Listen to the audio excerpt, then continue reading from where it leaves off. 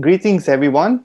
Welcome back to the talk show, episode number eight, four, and four equal balance. And we have just the right guest today to speak to us about mind body balance, all the way from uh, raised in Kentucky. His name is Mick Goodman, also known as Ram, which we will go into much more uh, in detail in this conversation. So, first of all, a brief introduction, um, but I would like to also welcome him to uh, on this show. Uh, thanks for spending some time to share with us today, Mr. Ram. Thank you. Thank you. So, Ram was actually uh, raised as a Baptist in Kentucky, in America. Uh, having grown up in, in uh, several Western mystery traditions, um, which we will expound about later, he moved into yoga and in the 90s, he also t- took initiation into a particular branch of Hinduism known as Advaita Vedanta. And Ram is also known to be a mental health survivor and will be sharing with us tips today on how we can cope with the stresses of life. So thank you once again. Welcome. And would you like to share with us, uh, you know, to elaborate a bit more about uh, a bit of uh, your biography and who you are? Okay. Yes. Um, yes, I grew up in Kentucky and uh, live in Kansas City now. But um, I grew up in Kentucky, and um, actually, my parents were Baptist, but my um, my father had my grandfather was a preacher, so my my father had religion very much forced upon him. So he was very open about how we uh, embraced our spiritual paths. And my older brother was a theosophist you're familiar with the school of theosophy, Madame Blavatsky. And so that was a lot of my influence growing up. In fact, when I was 12 years old, I my brother had read the story of uh, Siddhartha to me, of the Buddha, and um, I uh, I fell in love with the story and decided I was Buddhist, and uh, but really didn't know much about Buddhism at the time. So I kind of grew up with this uh, understanding of uh, even yoga, and as a teenager, I even did some yoga. Um, following along with books mostly. And um, as I got older, I became involved in martial arts, um, mostly um, Jido Kwan, Shotokan, and uh, Shaolin, and in the meditation practices that went with that. And then uh, as I got older, I gradually moved more into yoga. And so 1994, I took training in Sampurna Yoga, at Yogi Hari's ashram in Florida. And um, then later on, Ashtanga yoga training with David Swenson, and then again, teacher advanced teacher training with Yogi Hari. But my initiation and the name Ram were given to me by Bharat Gajar, who um, was a, um, a, Hindu priest and uh, ran a Sivananda Yoga Vedanta Center in Wilmington, Delaware at the time I was living in Philadelphia, Pennsylvania, and it was a little bit of a drive, but well worth it that I would go and visit there. And I had looked him up intentionally.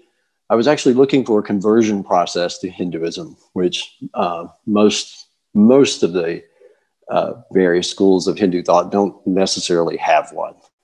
Um, I know the Arya Samaj does, and I think there's another organization, but um, um, receiving a name was part of that for me. So the process was uh, that I I went to visit uh, Yogi Bharat and he performed a puja and a naming ceremony, and then we followed that up with a fire ceremony that he had another priest come in and perform. And quite quite beautiful, and had a significant impact on me. Um, and so I pursued that path for quite a while. I'd actually had three different um, traditional initiations because I didn't really know what was going on initially. I was attending a Hindu temple in the early 90s in Cincinnati, Ohio, and I met a Swamini Krishnakanta, and um, she invited me over and initiated me. And it was like I didn't even know this was going to happen. I guess everybody else around me understood what was taking place, but I didn't. So when it came around the second time, which was um, when I did the teacher training at Yogi Hari's, I was apprehensive because I didn't understand it the first time. But um, he insisted it was a blessing, so I went ahead. But then with Yogi Bharat, it was an intentional seeking out to to connect and um, and probably more of an identity thing more than anything, um, feeling the need to connect in that way, which in some ways I feel like I've moved beyond that, but um, you know, still this this personality that's who I am. Um, these experiences and and uh, what I've been through. So, but my practice is leaning more and more toward Vedanta than yoga. So, part of that being the body aging as well. uh, turned 65 this next year, and um, uh, also dealing with an autoimmune condition. So, um, yeah, feeling it more and more. But I'm still teaching. I teach a regular class uh, Monday through Friday mornings, uh, regular asana class with some pranayama. But um, uh, my my main focus really is meditation and uh, Advaita. Very beautiful. Um, you know, you just mentioned that you being 65, but you look more 20 years. You're junior. Oh, thank you. Thank you. Thank you. yes. And you some know, days I feel it. yes. Yeah. And you know, these are some of the benefits, you know, for, for, for the practice of what you have been practicing with Hatha Yoga, with the meditations from the various traditions you've been in as well you know so anyone mm-hmm. who's watching um, you know there are a lot of uh, physical and mental and spiritual health benefits with the practice of yoga with the practice mm-hmm. of a certain form of a traditional spirituality as well mm-hmm. uh, especially if we integrate it correctly so um, you've mentioned a lot of things um, very interesting coming from a, a very religious background uh, with a Baptist, and then slowly with some influence um, with your brother, and also with your personal self inquiry. Um, you know, with theosophy, with um, with a little bit of Buddhism, and then into yoga in the '90s and whatnot. So you know, you have lived through um, what was a very interesting period of time you know, when a lot of the Eastern forms of spiritualities were transmitted or were introduced into the West, you know, not many mm-hmm, people mm-hmm. these days grew up in this era. So, I mean, you can say, you know, during the colonial period, there was a lot of sociologists and anthropologists who were trying to make uh, make understand what was happening with India and the systems. You know, this were around the time of Vivekananda, uh, who mm-hmm. was introduced into the West in the late 1800s and then you also had Mahatma Gandhi as well, you know, uh, promoting ahimsa, you know, non-violence and all that seeped through worldwide as well. So you had these periods of time, but you also had the period of time um, around, uh, I think in the US it was around the Vietnam War. So around the 70s, the hippie, the hippie revolution, which took which took place, and a lot of people um, disenchanted with the way of life in the West or in America, in the in, in the UK and other parts of the Europe, made their way towards uh, you know to to find this uh, this Eastern paradise, you know, the Shambhala, the Shangri-La. Um, whether they were interested in, in Buddhism, whether they were interested in Taoism, in Hinduism, or even everything. And a lot of them actually were initiated in some of uh, under some of these teachers and a lot of these teachers also started traveling and setting up camp setting up organizations schools and all that in the west and you uh, have grown up in this golden generation which is very mm-hmm. very rare now for practitioners to experience such a shift so you know very blessed that you have a center around you or at least in a state or in a town near you or even neighboring mm-hmm. states and you mentioned you traveled to ohio to various mm-hmm. parts also for florida as well for various trainings so um yeah so, so in order to to carry on into this uh, sharing and discussion i'm very curious um how is it has impacted you coming from a very different background uh, socially uh, religiously uh, culturally you know, um, being an American in the West. With Eastern traditions, you know, I mean, there are many questions I can ask here which you can touch upon. You know, did it feel familiar? Did it take time to integrate, you know, all these things? And um, also maybe share how people close to you uh, perceived it, you know, how you mm-hmm. felt uh, to be comfortable with it. You know, so mm-hmm. would you like to share with us a bit more about? This? Certainly, certainly. Um, actually, and there have been a few things in my life that have been so familiar that they were instantly comfortable. But especially um, the first time I walked into a karate class, um, it was it was very familiar. It was like I, I've been here before, and um, um, with going to the Hindu temple, it um, I've always been comfortable with it, and people have commented on that uh, to me. Uh, in fact, recently, one friend was saying, he said, he says, what I like about you, he said, this is no different for you than anywhere else. And it isn't. I mean, I feel like I fit right in. Um, in fact, I feel, especially in the Vedanta study groups that I was going to with Chinmaya Mission, which is connected to the same lineage as the Sivananda yoga. So, and um, uh, always felt very connected. It always felt um, very familiar. I I wasn't uncomfortable. I know that there was one situation when I was in Cincinnati, Ohio, that there was one person who would who would give me these looks, and I asked a friend about it, and he said, "Oh, he thinks the Westerners are here to steal our gods," and told me not to worry about it. but but that's uh, that's the only time really. Um, um, oh, one, one, one woman did ask me in the shoe room at the temple here a couple of years ago she just looked up at me as I was leaving and she said, Why are you here? and uh, what seemed like kind of an awkward moment, actually, it got to be quite nice. I told her, you know, briefly my story and and she appreciated it. In fact, the last time I saw her was um, when I got back from India because I told her I was going to go to India and and and told her about it. So it's been mostly pretty accepting. Um, I find that most of the like the temple here, larger temples are not, um, you know, they're pretty well already established communities, and they're not really as much about um, about Vedanta or philosophy. You know, they're Hindu temples. They're there for for for worship, for the pujas, and um, so I find that Chinmaya has uh, has kind of fulfilled that role for me in the in the meantime. Um, the temple that I went to in Cincinnati was very small. Um, and so it was a much smaller, closer group of people.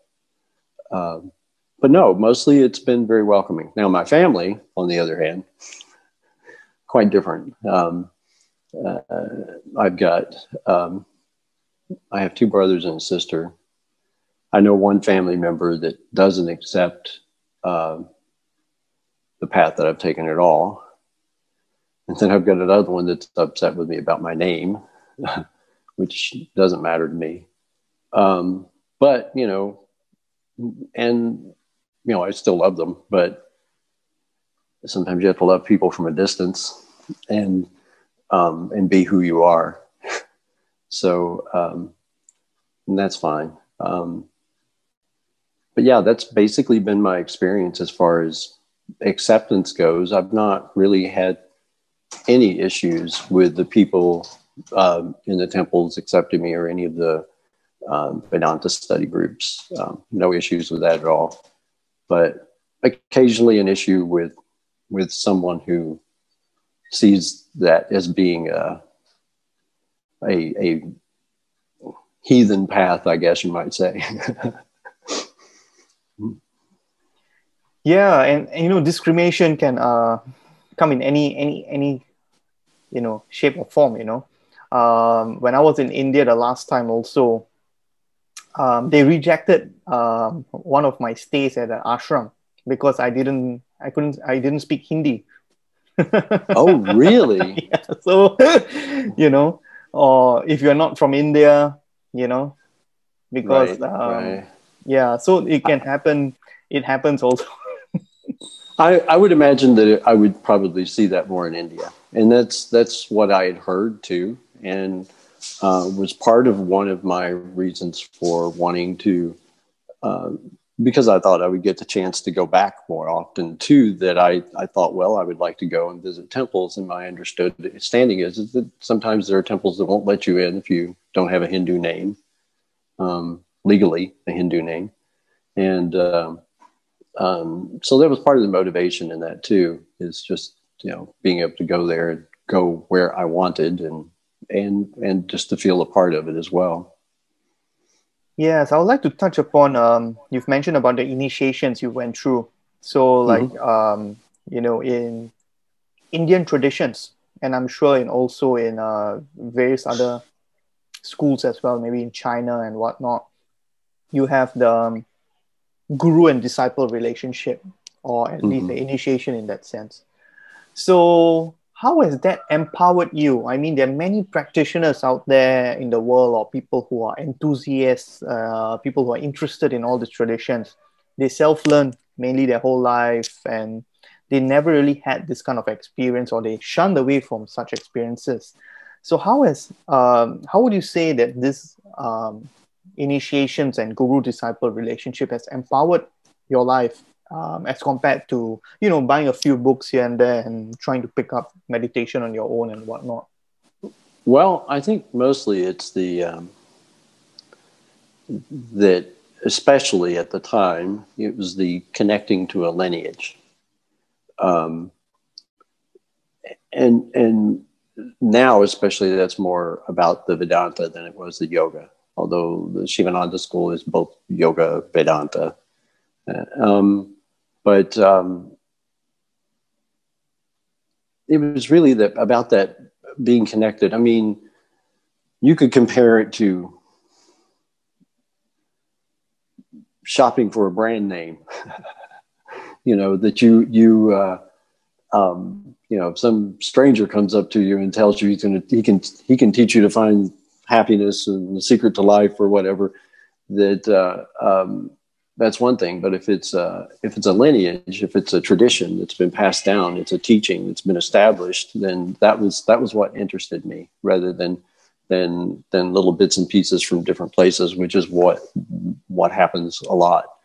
And I, I don't want to say that there's anything wrong with that because I think it's really an individual matter. Um, and you know, for some people, that's the way they may even need to transition from whatever tradition they may have grown up with that they may have to kind of do this eclectic uh, blending of, of, of different things. But um, but for me it was it was that connection with lineage and because it's the most especially as as it's presented in the the text of uh, Adi Shankaracharya it's just so direct and so precise you know um, you know, much more than this kind of uh, common lingo about just oneness, everything being one. It basically breaks it down and explains explains the uh, human condition and suffering and how our sufferings are caused by you know, how we're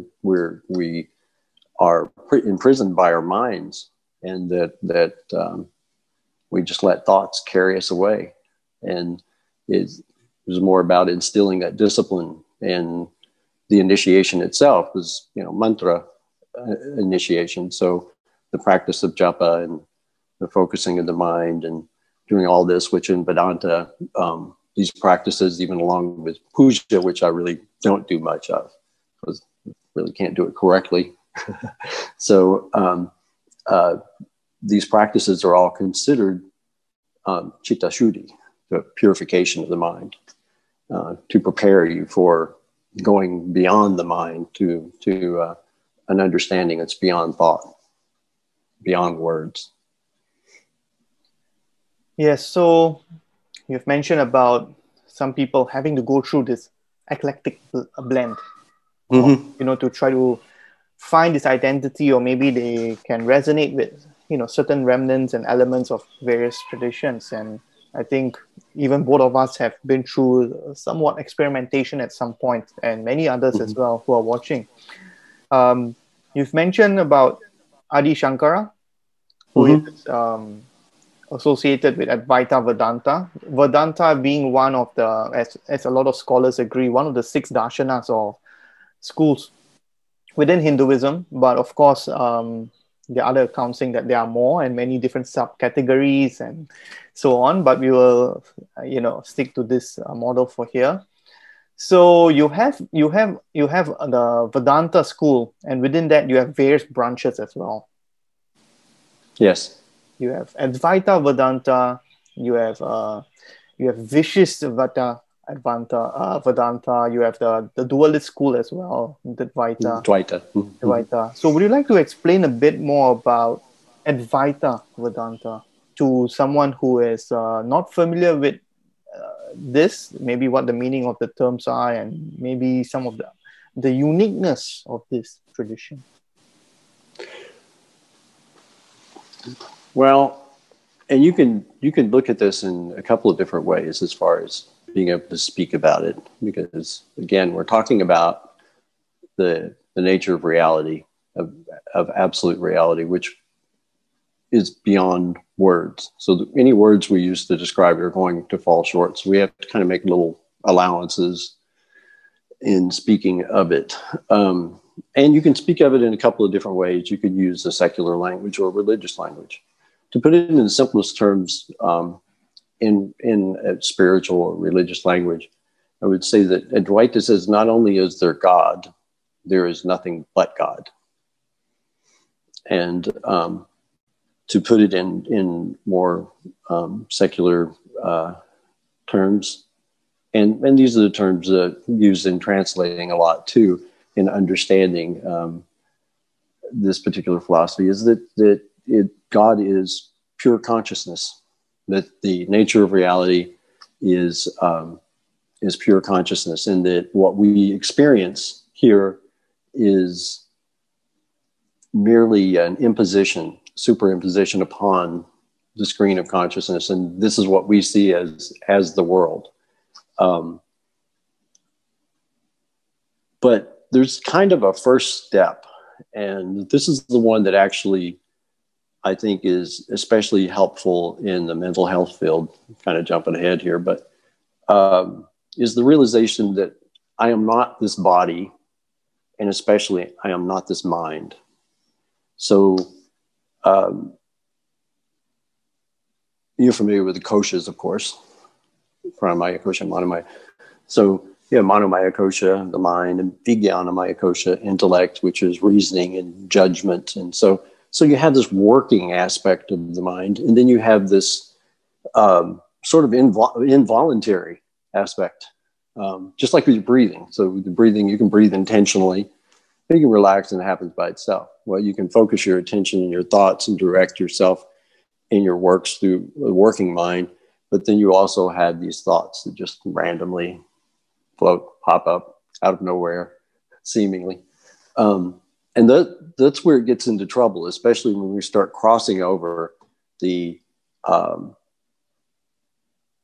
the methods that are used by the working mind of analyzing, judging, comparing, and all that starts carrying over into these other thoughts.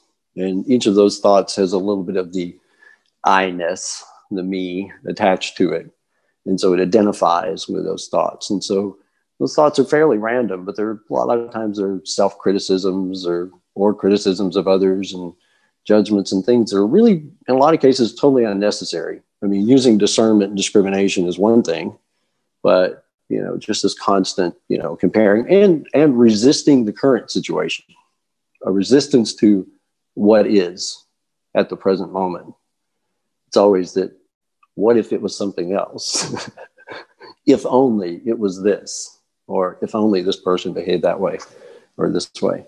So, um, anyway, with the practice of Vedanta, the study of this uh, philosophy, I think one of the most helpful things is coming to that understanding. And even if it's just an, an initially an understanding, a belief, um, it, it's one that's helpful. It's one that can be practical when those thoughts come up. You know, even if you don't have this full realization of yourself as an entity separate from the body and mind. So it serves as support in that way until there's some level of um, recognition that makes it more of a conviction than just a belief. Yes, you've mentioned about the different koshas, different layers, you know, whether it's mm-hmm. Annamaya all the way to Vijana kosha. Mm-hmm. And it also reminded me of some of the uh, teachings in uh, Buddhism where you have the skandhas or the aggregates you know, whether it's oh yes, body, sensation, discrimination, compositional factors, and mind or consciousness. So, mm-hmm. You know, it's uh, part of this. Um, it's part of the uniqueness of some of these Indian traditions. In, mm-hmm. in, in, the Hindu schools, in the Buddhist schools, in even in Jainism, uh, some of the Sikh traditions as well, um, Shramana movements as well, you have this kind of um, contemplative science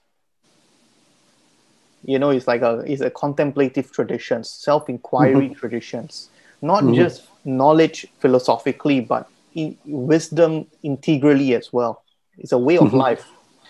So you know the, the the richness of the indian philosophy um you know was aimed towards the um towards this liberation you know towards overcoming suffering.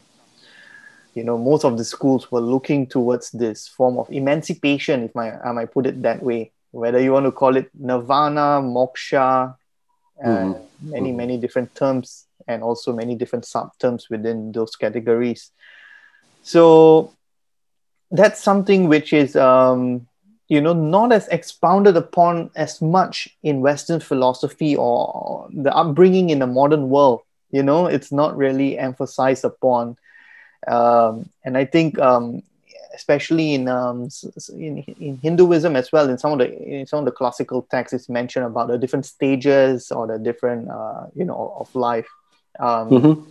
So that you know that a- a- anyone or everyone can practice according to uh, the various capacities, you know, or the various uh, maybe their situational uh, habitats or whatnot. Mm-hmm. So, um, what are some things um, you've mentioned? You touched a bit on mental health as well. What are some things um, in your current situation? Um, you know, living in America, um, having the job you had, and teaching yoga.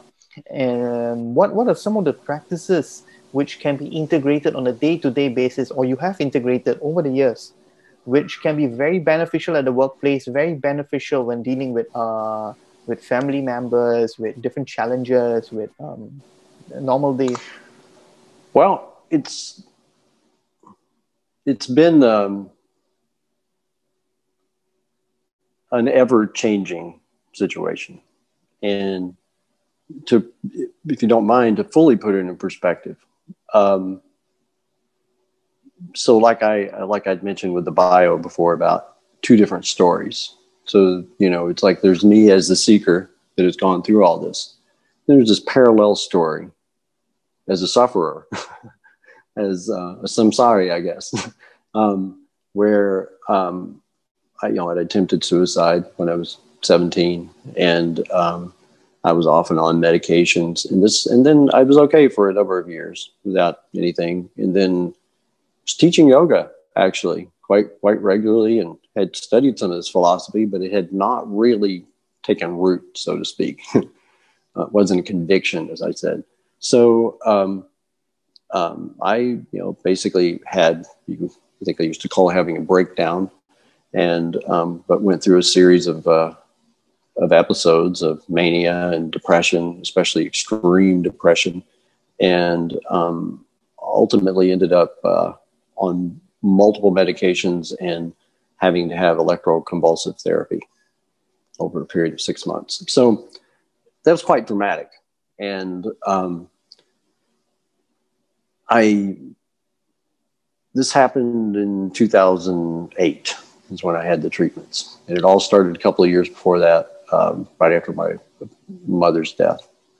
And um, after being on medications, after going through the treatments, I was still on medications. The treatments helped. They may have saved my life, but um, they didn't fix anything. Ultimately, I was still going through the same cycles, just not as extreme. And I was still on medication, and I'd been on um, short term disability from work a couple of times. And I decided I couldn't do this, that I couldn't just go on disability. I had to go back to work. And decided to kind of take it into my own hands because I'd seen so many people. I would go to support groups and I would see people who just gave up, um, that they just, you know, decided to go along, work with the system, and take the medications and the medications i mean certainly i'm not saying people shouldn't take them there are situations when they're definitely needed but they can be overprescribed too but ultimately i ended up getting off of every every one of those medications and um, and went back to work and that's been eight years now um, but anyway so during the time that i was recovering from that i i kind of came up with some things on my own that were some that were related to my yoga practices and some that weren't. Um, a lot of it was just getting out and doing some physical activity, which is really important. Um, in fact, uh, you know, if I had someone close to me that was going through what I did, I would make them get up every day, and even if it was just going for a walk twice a day or something, just to move. Um, so that was an important part of it too. But um, also i was i was starting to meditate more i was struggling with that and i was doing affirmations and visualization practices one that i would do as i was recovering was as i would go to bed at night i would just picture people's faces just randomly and a lot of times it would be people that i would just see in neighborhood people that i work with faces would just random and i would see them as being happy and smiling for no particular reason and um, made an effort to uh, sort of enjoy their happiness. And um, so that was a practice I did for a while. But um, as it went on, then I um, and I, I, got away from, as I said, I got off of all the medications and everything, and I was improving and got back to work. I just continued my yoga practice, and then I was fortunate enough to connect with the local Chinmaya mission group here and started going to the Vedanta study groups. And that's when, um, and, and I'd done this before, years before, but like I said, it didn't, it didn't sink in as well. I, when I lived in Pennsylvania, I would go to uh, Chinmaya mission. But um, that was such a great help. And it was like uh, there was one year that I was going quite intensely, quite a few groups, and um, it had this sort of synergistic effect, I guess, just doing all of these different groups. But it started to sink in even more, and and that helped me a great deal. But then this past year, with all of the events here and there around the world, um, things gradually, uh, my path, my and my methods have changed because um, as things happened last year, I returned to one of my teachers and it didn't go well.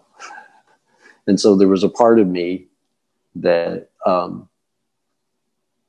had an identity invested in that that diminished a bit because of that experience. And then I go back to work first of the year and my position was eliminated, so I had to retire early. 19 years. There was a little bit more of my identity started to diminish. and then, whoa, sorry, I lost you there. Um, so then um,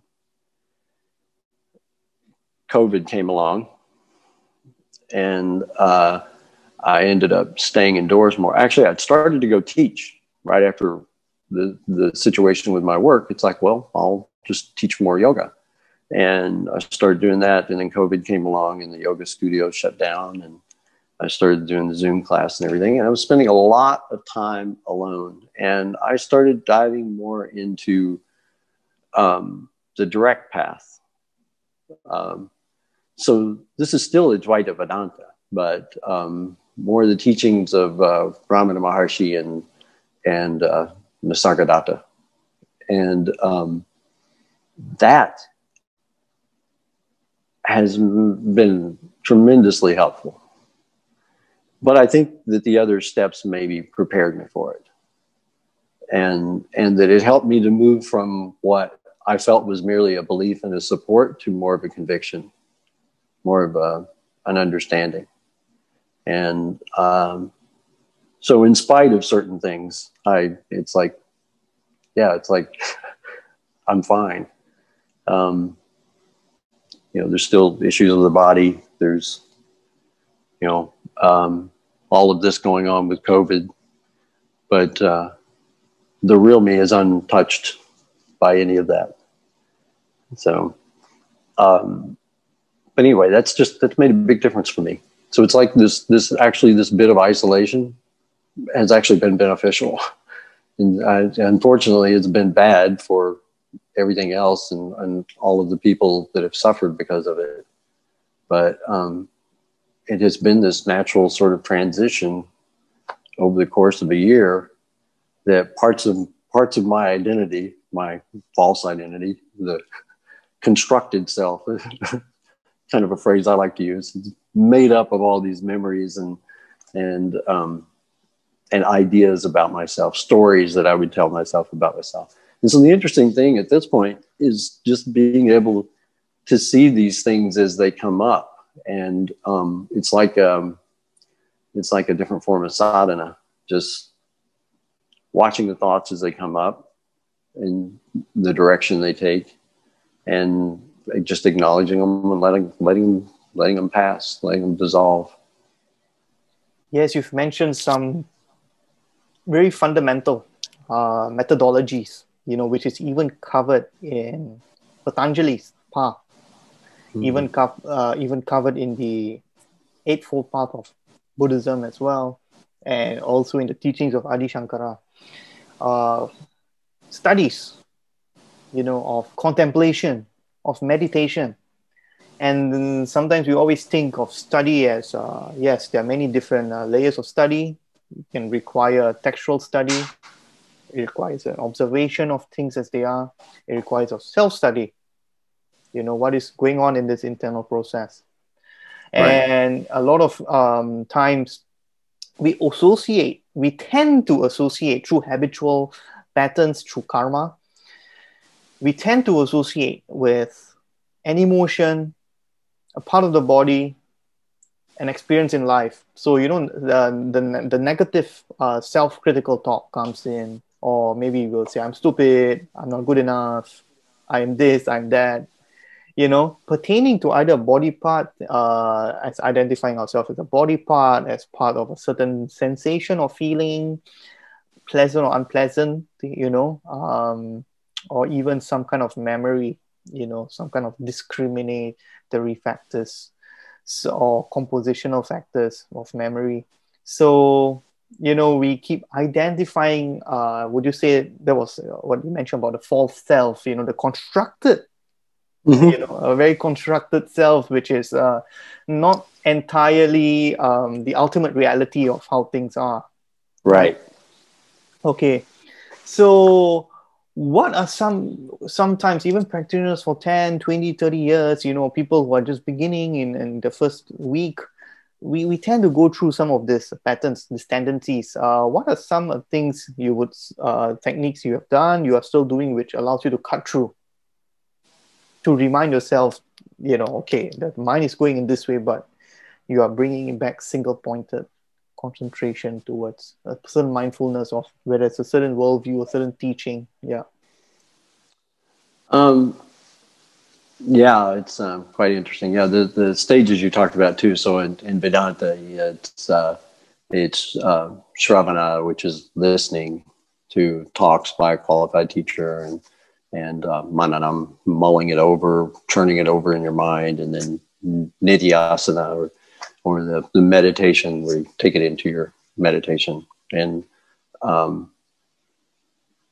yeah, so for me now, it's a bit different because, quite frankly, I um, for many years I struggled with the whole mantra japa uh, practice, and um, it got better for me when I decided that I was putting too many rules around it as far as has to be every day. So I would do periods of time, like every day for a month or whatever.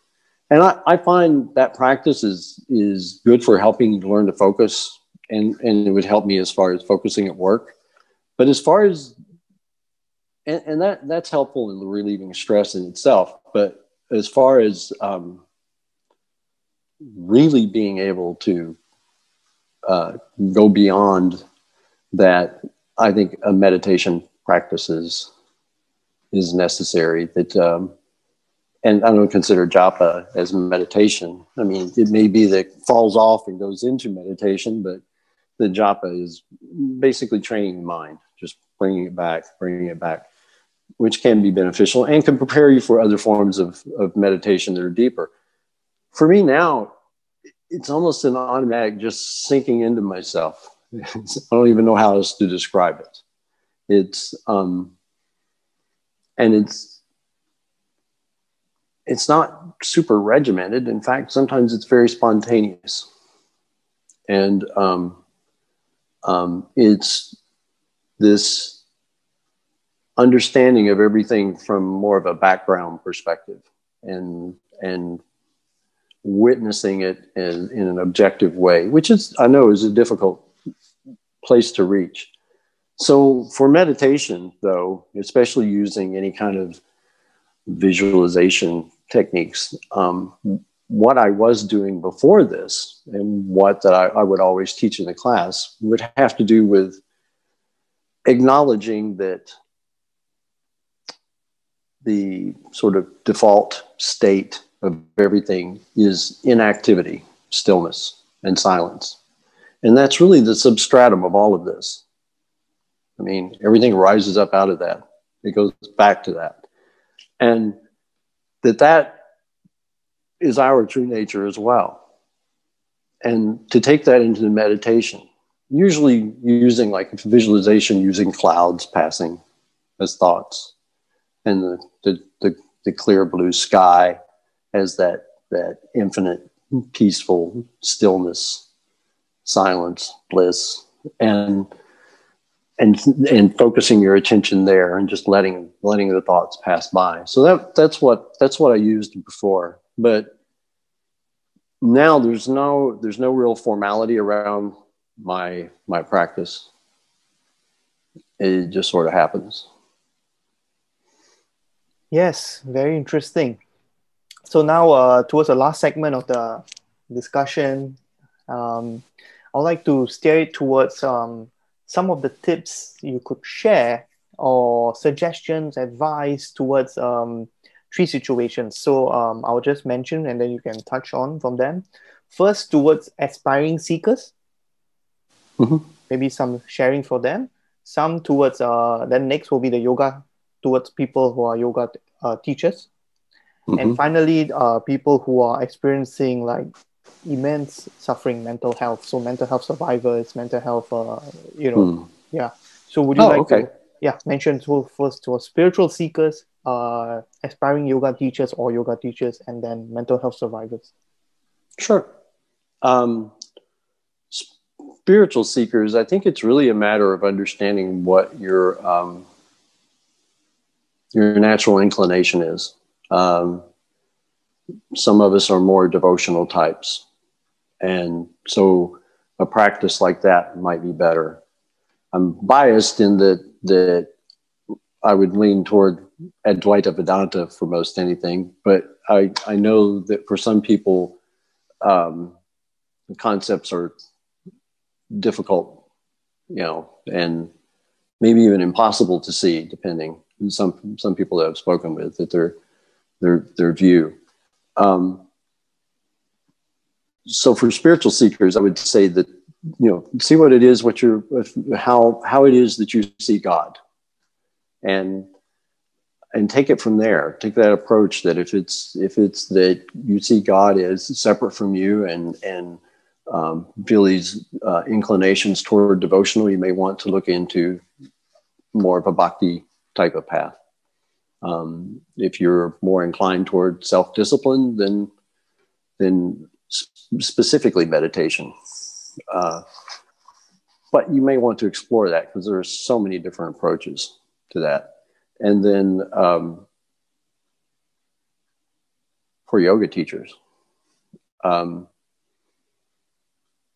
I, from what I've seen, I, I, have been trying to be more open minded because, uh, um, you know, I, I, one, I have no problem with a fully physical practice. That's that's that's fine. People who want to pursue that that that that, makes sense. This body is uh, is the vehicle for liberation.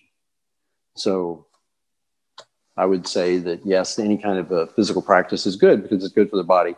But I would I would suggest to yoga teachers to explore more, uh, especially things that fall under the heading of yoga that don't typically fall into your teacher trainings. You know, outside of Patanjali, outside of yoga asanas, outside of Hatha Yoga, Pradipika, and texts like that. Look look at, at the Upanishads and look at the yoga that's described there, and that would that's my my suggestion. And explore Vedanta, and but that would be the suggestion there. Um,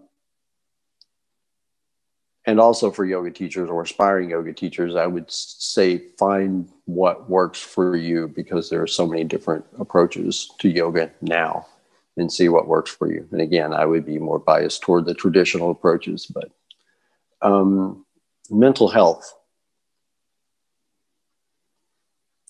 Um, it depends on the situation, of course, but obviously, anyone who uh,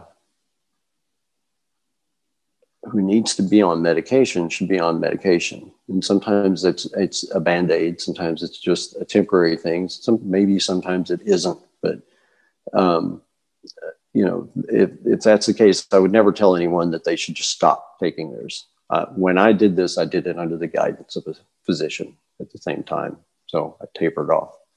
But um, as far as mental health goes, the more that you can take care of your body and your mind, the better off you're going to be. We don't make t- enough time for ourselves, and I think that that's the biggest part of the problem. Um, is is making time for yourself to be able to sit quietly with yourself, with your mind, and um, to meditate. And I know that's difficult. I've been in that situation where my mind is racing. And that's where practices like japa do come in handy. I think even with, you know, with, with the mental health situation. And I know it's a struggle, but it has to be done without judging yourself. And I think that's one of the most difficult parts. But even if it's just a few minutes, you know, I, I think five minutes of being able to sit still peacefully breathing quietly and just reflecting inwardly is probably better than an hour of struggling, wrestling with your mind. So, even if you just spend a few minutes. Yes, very invaluable wisdom you have shared with us, especially you know this last segment where we have just integrated uh, you know some of the suggestions which people can use. You know, considering you have had 40, 50 years of exposure and experience, practical experience with various traditions and practices. So, you know, for viewers who are watching, um, whether you are interested in some form of spirituality, whether it's um, you're interested in some aspect of yoga, even if you have been practicing some of this for some years, and whether um, we're struggling with uh, some element of mental health or mental disharmony, you know, to explore some of these practices under the guidance of a, a teacher if you can, uh, or even through your self exploration to to read up some books, to watch some lectures online, you know, this whole process of self discovery. We all have to start somewhere. And there's this great American Buddhist teacher, Pema Chodron. She mentions start where you are. So, to just start where we are, regardless of the circumstances, we have to begin at some point, at some place, at some period in our evolution. So, yes, try the physical practices which you've mentioned, whether it's uh, hatha yoga, whether it's running, whether it's calisthenics, whether it's walking. You know, there are some benefits to this, adding adding the study, contemplation, meditation with form of physical uh, exercise or routine, diet as well. We didn't touch much about diet, but um, yeah. diet. Yeah. Yeah. Can I? Yes. Can I make a statement? Um, one other thing under mental health, and yes, diet is very important. One other thing under mental health, and um, it's it's interesting how psychology is borrowing a lot from Eastern traditions, and you're seeing that a lot now. A lot of focus on on um, on meditation and uh, especially being in the present moment, but also um, some of these like cognitive behavioral therapy. I do know that when in the periods when I was um, hospitalized, that that was very helpful. And I've seen now, and I'm not really familiar with dialectical behavioral therapy, but I've seen where they have um, one of their concepts is radical acceptance, meaning acceptance of the present moment as it is, which is what I was speaking about earlier, which is which is really one of the issues that wanting what's now to be something else, and that acceptance. And to me, that's a powerful concept. So, anyway, those are two other things that would be worth anyone struggling with mental health issues to look into. Yes, definitely. You've mentioned CBT, which is cognitive mm-hmm. behavior, behavioral therapy. Uh, there's also MBSR, mindfulness based stress relief, as well.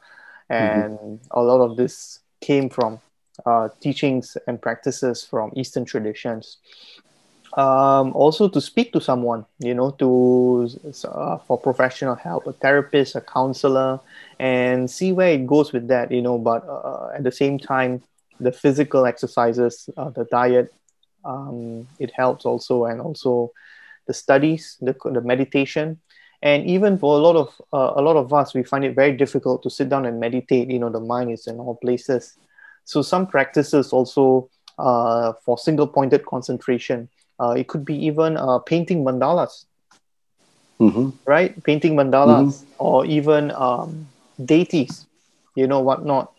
And this also have a symbolic representation on us, you know, the effect of, of color, the effect of the stroke, the effect of the various symbols as well. You know, it, it, it, it, it resonates, you know, with uh, archetypal, on an archetypal level at least. Uh, this sounds like your last episode that I watched. In, interconnected, interwo- yes, in, yes. interwoven. So right. yeah, there's so many different things. You know, sometimes we think, oh, there's only this meditation and it's sitting down and I can't even sit properly and that's it. Or spiritual yoga is like that and I can't do it. But we we you know there are so many different things. There is there are walking. You know, the, uh, in in in Thailand they practice uh, walking meditation. Mm-hmm. You know, there are various things we can do, various uh, gratitude affirmation prayers before a meal, before sleep. So is this oh, absolutely. Thing. It's this little things, and then when we slowly integrate them, it adds into our lifestyle, integrated, and we might feel more peaceful, more blissful. And I wouldn't say if, uh, you know, and Ram has illustrated today, it's that helped him through um, some of the most gravest challenges he has faced and not only just lifts you above the water it allows you to gain your strength and soar into the sky as well. So it's very uh, you know very beneficial a lot of these things. And i hope that this episode uh, there's a lot of um, you know little this little chunks of wisdom which which which we can all integrate in uh, into our lives. We can try to explore especially sometimes yoga teachers as you're mentioning i don't want to go too much into it but they can be very stuck into a certain way of doing mm-hmm. things or a certain way of thinking about things. But it's about you know realizing that we are students again and we have to explore and it's not just about the body it's not just about the mind. There has to be a good balance between the both in a very holistic way.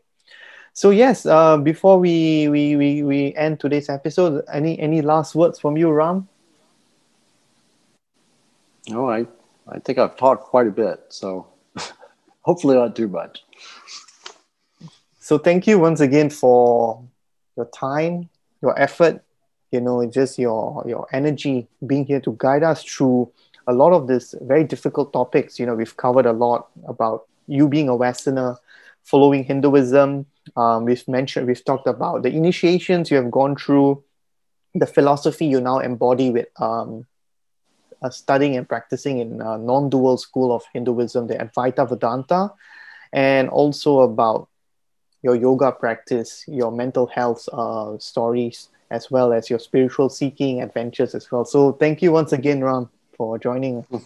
Thank you. And for anyone tuning in at any point, uh, please feel free, if, if you do not have time to watch a full video, to snippets. You know, there's various, uh, you know, various um, minerals of wisdom in snippets of, of this video as well you can watch. And please subscribe. Uh, I'll be link uh, putting the link of my YouTube channel. Subscribe to my page.